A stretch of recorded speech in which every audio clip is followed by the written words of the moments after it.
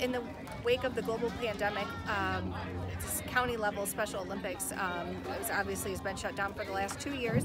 Um, so the first year we did um, a parade to each one of our students' homes, and then last year we had our first annual Special Olympics here for just our students, and then this year we um, continued it because it went over so well. A parade of athletes kicked off the day with a police escort and the Falconer Falcon mascot leading the way. Before competition began, Falconer's own Mackenzie Smith performed the national anthem.